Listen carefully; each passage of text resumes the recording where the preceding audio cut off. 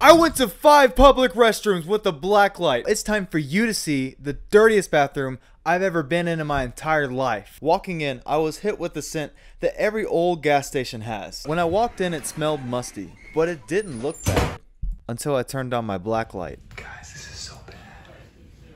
Oh my gosh, look at all the stuff on the wall. I honestly didn't know what to point at first. And keep in mind, all the stuff that glows is saliva, urine, and a handful of other bodily fluids. The soap dispenser itself looked horrible. Oh my god. The toilet was covered in drips and specks that glowed. It was everywhere. And what I realized next was the most disgusting thing I'd ever realized in my life. Down here beside the toilet, that whole floor is glowing green. Green. That's glowing. I checked the bottom of my shoes, and sure enough, they were both glowing.